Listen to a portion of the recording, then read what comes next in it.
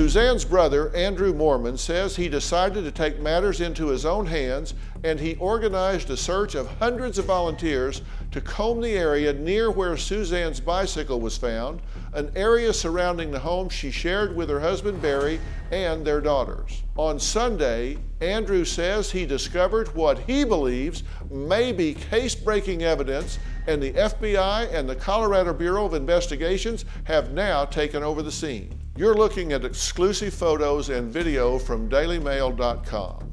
You're asking why the chasing a lead, gotta, gotta throw it in the bucket. Well, today, in a daytime exclusive, he joined us from Colorado immediately following his shocking discovery. Andy, it's Dr. Phil. Awfully glad to meet you, but very sorry for the circumstances. Yeah, it's been pretty rough. Thank you. It's nice to meet you as well.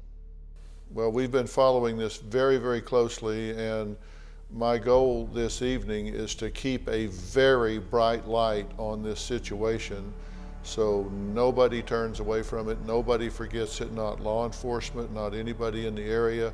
So just know anything you want to talk about, anything that we can do to keep the focus on this, that's exactly what we want to do. And I understand that you have been out in the terrain, in the mountains, in the area, conducting a search on your own, correct? That is correct, yes.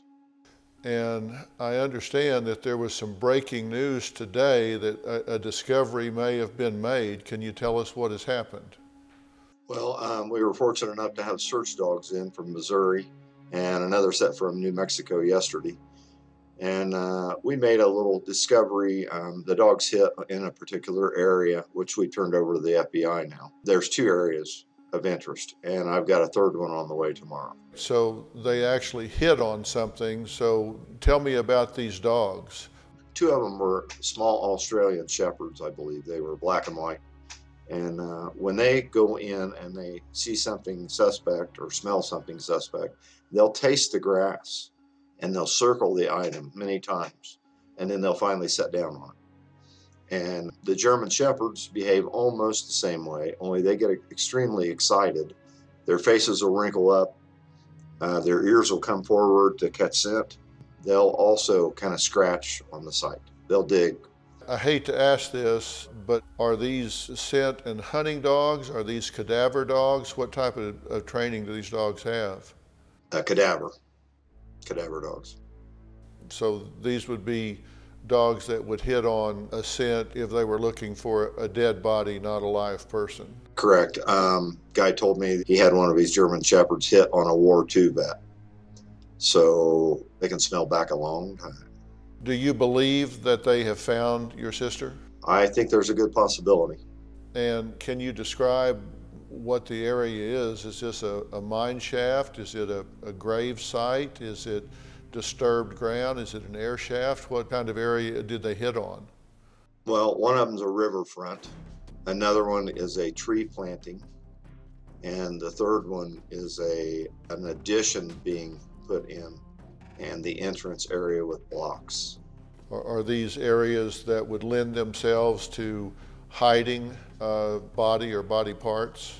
Yes, absolutely. So when those dogs hit, what was the first thing that went through your mind, Andy? I just said, "Damn! I can't can't believe anybody would do this."